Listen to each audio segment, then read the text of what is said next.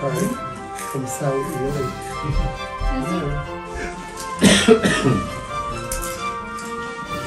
We took the road less traveled, but it brought a helmet and a tiny shopping cart, You're a good and that made all, all the difference. now I get what that means.